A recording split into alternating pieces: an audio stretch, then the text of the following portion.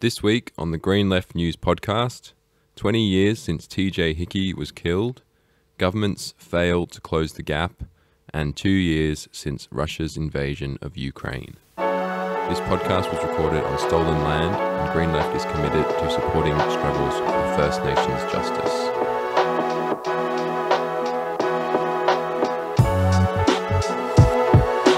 Welcome to the podcast. I'm Isaac Nellist, and I'm excited to bring you the latest news this week, starting with the rally on February 17, marking 20 years since young Kamilaroi man TJ Hickey was killed during a police pursuit when he was only 17 years old. So, Auntie Gail Hickey, TJ's mother, and the Hickey family and supporters have been rallying every uh, February 17 for 20 years to mark the occasion where Redfern police chased TJ as he rode his push bike before they hit the bike and flung him onto a nearby fence where he was impaled. And every year since, the Hickey family have marched for justice for TJ. 20 years since a young, beautiful young Aboriginal boy was innocently, and I repeat those words, innocently riding his push bike through his local neighbourhood when it came to the police's attention and they decided that there's a little black boy on a bike, he has to be committing a crime, on the way to committing a crime, or riding a stolen piece of property. So they took it upon themselves to pursue that young boy. And where we stand right now is a high, oh, it's emotional, like, you know, a high place of relevance. Because those who don't know the story, we stand in front of the fence where young TJ ended up impaled and tragically lost his life, all due to the pursuit and chase of the Redfern police. Justice! When do we want it? Now! Yeah, when do we want justice? When do we want it? Now! Yeah, when do we want justice? When do we want it? Now! Yeah, when do we want The Productivity Commission has found that the gap between First Nations people and the rest of the population has widened on four key social indicators rates of adult imprisonment, children in out of home care, suicide, and early childhood development.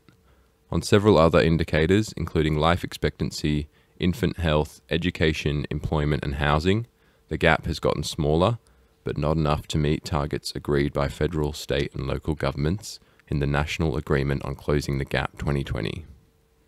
A new progress report from the Commission, released in January, revealed that all levels of government have, for the most part, been weak and only tweaked or overlaid actions onto their business as usual approaches. The Invasion Day protests this year showed there's a strong mood for real change, rights, and justice for First Nations people that governments have failed to address. Free,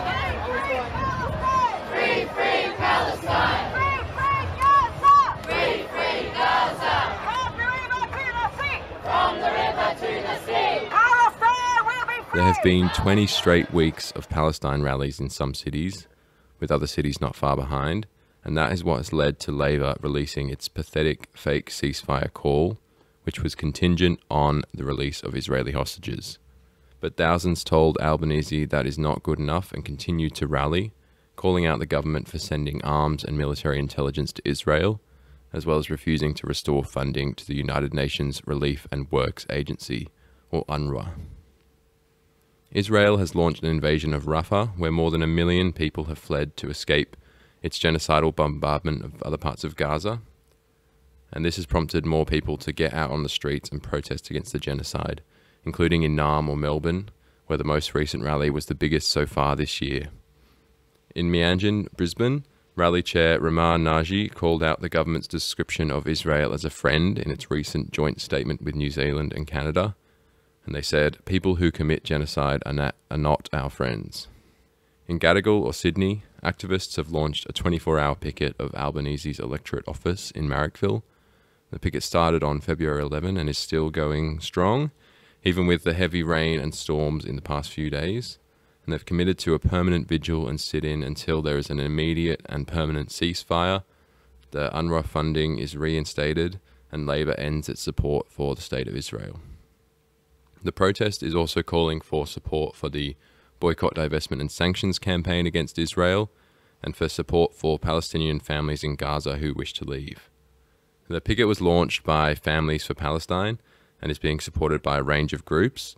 Um, to get involved, you can go down and join the picket at 334A Marrickville Road or email familiesforpalestine at gmail.com to put your name down on the roster. Another inspiring action took place in Bathurst at Lamont Wiradjuri Park on February 11, where Central West New South Wales for Palestine organised a kite flying event for children and families. Organiser Kate Demare reported that on July 29, 2011, the Children of Gaza launched 15,000 kites, breaking the world record during their campaign to lift the siege on the Gaza Strip. And she said it was an important uh, for regional regional areas to take action for Palestine, despite the tyranny of distance.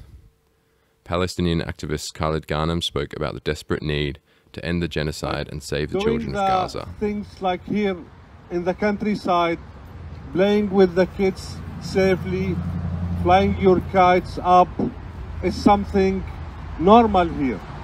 But we cannot do it back home in Gaza. In Palestine, kids are scared going out. They hear bombs 24 hours per day. Like they cannot have normal life. And we, we when we gather here, we want you to remember that we, we hope one day you come to Palestine and let your kids play with our kids there. Lots of people remember the message of peace and rebellion in the music of Bob Marley, with Get Up, Stand Up encouraging us to stand up for our rights and not give up the fight. This became an anthem for young people struggling for a better world.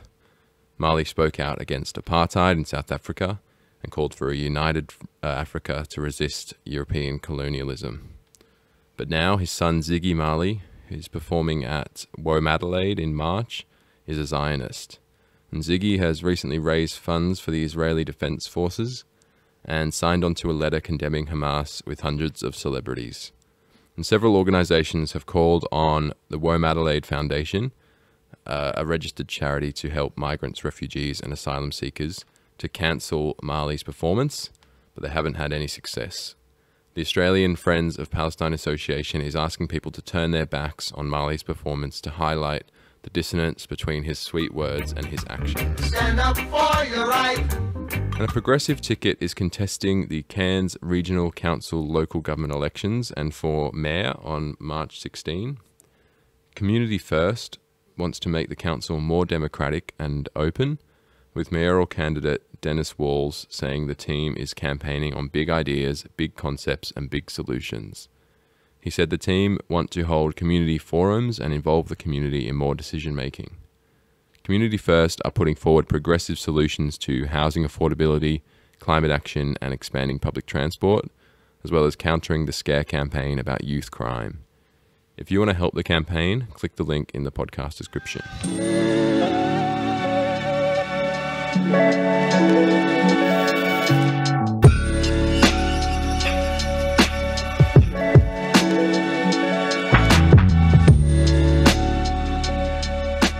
Cleaners in New South Wales are campaigning for Premier Chris Minns to fix the failed privatised cleaning model. Their video statements released on February 9 gave details of their extreme workloads and dangerous workplaces, as well as low pay.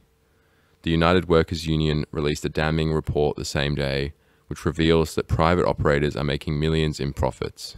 New South Wales school cleaners are demanding that the failed privatisation model is ended and, that, and have said that the cleaning model in public schools and buildings is fundamentally broken. Also in New South Wales, the long awaited report by the Special Commission of Inquiry into LGBTIQ hate crimes, which was released in December, made 19 recommendations, including fresh inquiries into the deaths of several men. The inquiry found that New South Wales police response to victims and their families was completely inadequate. It said the police were indifferent, negligent, dismissive, and hostile in many cases. It gave details of the police's failure to maintain evidence from past LGBTIQ hate motivated crimes and its inability to complete investigative files. Meanwhile, the Minns government is attempting to water down a bill to ban gay conversion therapy under pressure from the newly formed Faith Affairs Council. And conversion therapy consists of a range of techniques to change or suppress a person's sexual orientation or gender identity. An independent MP, Alex Greenwich, had introduced the Conversion Practices Prohibition Bill to ban conversion therapy practices in August last year, pointing out the harm and trauma induced by the treatment. The Faith Affairs Council is attempting to exempt religious counselling from the ban, with one council member claiming to have secured a commitment from Attorney General Michael Daley that religious counselling would be excluded. If that's the case, then Minns is allowing a harmful and debunked activity to continue to appease the conservative religious right. Also in New South Wales, the local government minister Ron Hoenig has introduced a bill that claims to help councils that were forcibly amalgamated to demerge, but in reality it does the opposite, removing the only clause in the current law which mandates state funding for a demerger. Hoenig's Local Government Amendment Deamalgamations Bill 2024, tabled on February 6, removes the government's liability to help councils demerge and stops councils from holding polls on deamalgamation unless approved by the minister. Darriea Turley, who's the Local Government Association of New South Wales president and Broken Hill Labor councillor, described the bill as a cunning sleight of hand, and Grantly Ingram from the Demerged New South Wales Alliance described it as an attack on democracy. Now, public housing tenants are leading the push to stop New South Wales Labor from demolishing public housing in the inner city in the worst housing crisis in living memory. At least 57,000 households are on the New South Wales public housing wait list, and despite promising to stop privatisation, Minns is planning to evict thousands of tenants from their homes by demolishing the estates in Glebe, Waterloo South, and South Eveleigh, and selling the land to developers. Mascot Public Housing is also under threat. The Minns government has already demolished the public housing estate in Arncliffe and Telopea's three sister towers lie empty. Now you can join the campaign to save public housing in New South Wales by following Action for Public Housing on Facebook. You can also check out the interview I did with Kristen O'Connell from the Anti Poverty Centre, uh, which is on the podcast feed or on the Green Left website. We talk about solutions to homelessness, including governments building and buying public housing the government should spend $300 billion on public housing and increasing Centrelink payments and not on tax cuts. Every person living on a low income, whether they're employed or unemployed, would benefit more from that type of investment than having thousands of dollars go to the wealthiest people uh, on the continent.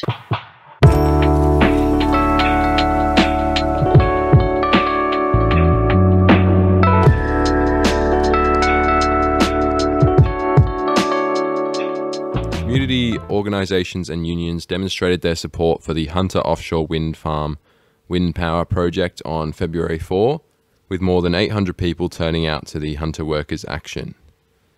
Another pro offshore wind rally was organised in the Illawarra region on the same day.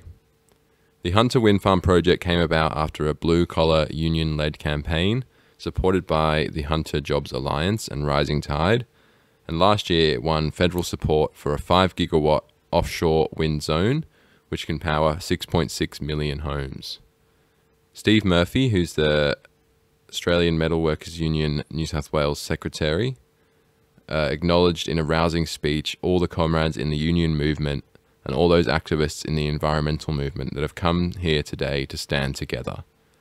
Murphy warned against the right's false jobs versus the environment pitch and said every single day workers get exploited and the environment gets exploited for private profit. We know who our enemy is it is private capital. Strengthening the links between workers and climate campaigners is essential to assure a just transition towards renewable energy. Now let's hear what's happening around the world.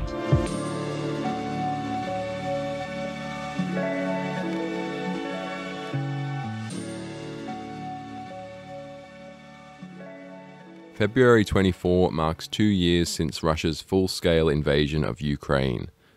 Green Left spoke to Victoria Pihul from the Ukrainian Democratic Socialist Organization Social Movement about what the impact of the war has been. She said it has normalized war and has become part of everyday life, and this has meant that other issues such as corruption, inequality, and economic problems have, have come back on the agenda.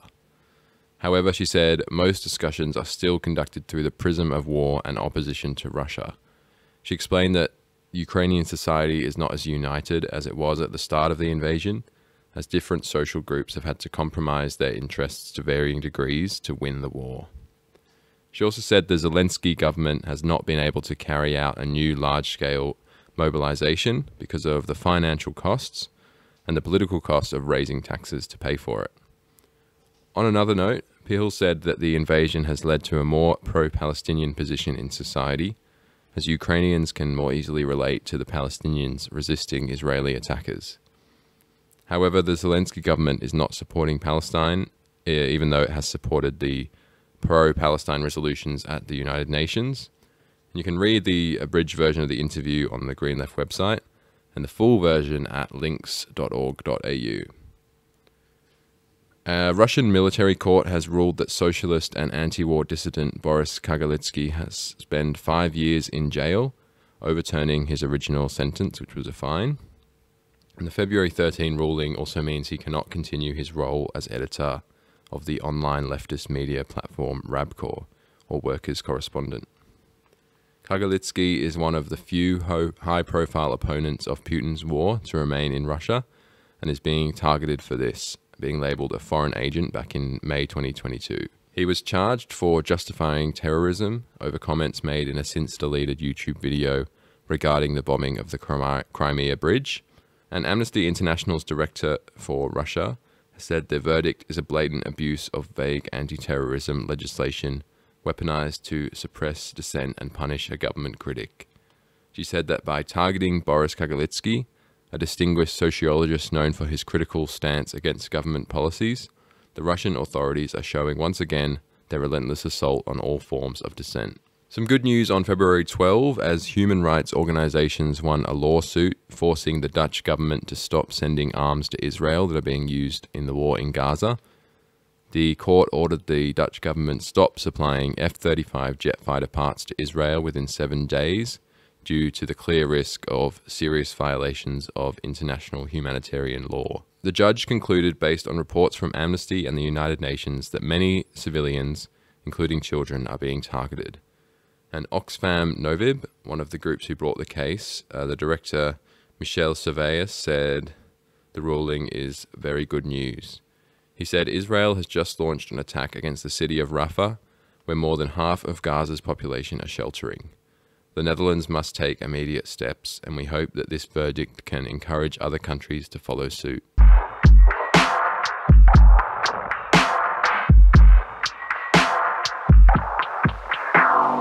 In an exclusive interview with Green Left, Salah Muslim, the co chair of the Democratic Union Party, which is the leading party of the Rojava revolution in northeast Syria, warned that the escalation of conflict in the Middle East could be the beginning of a third world war.